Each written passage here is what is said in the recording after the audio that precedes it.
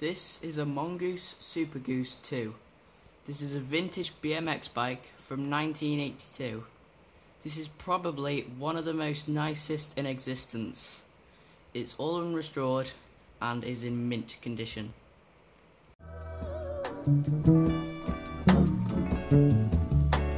Ah, ah,